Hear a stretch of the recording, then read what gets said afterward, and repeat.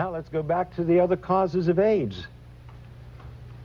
So it's not only street drugs but medical drugs, but now three is radiation. Do they worry about at Chernobyl and Nagasaki and Hiroshima? But number four is chemotherapy. Number four. The number four cause of death of acquired immune deficiency diseases. Chemotherapy.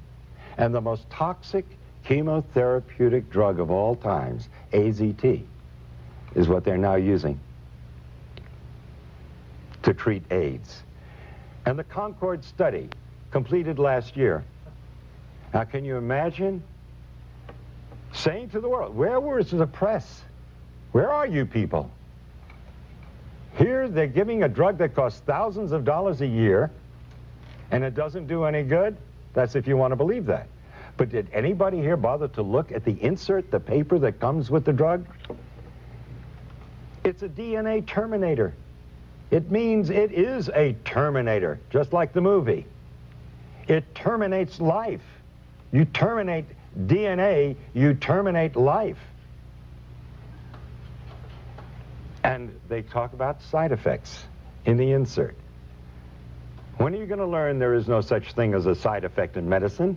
It's an unwanted direct effect.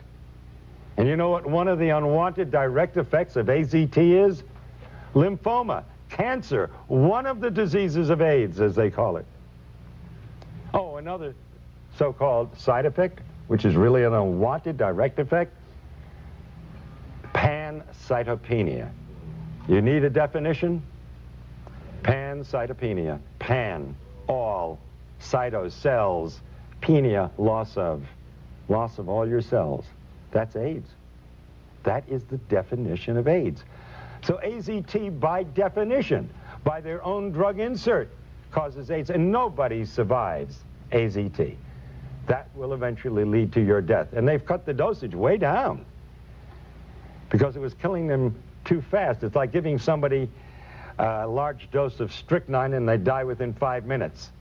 And so the next person, you give them a, a, a, few drops of it and they last four or five days and you say, strychnine's a wonderful drug. This person lasts five times longer. This is the kind of thing that they present to the world.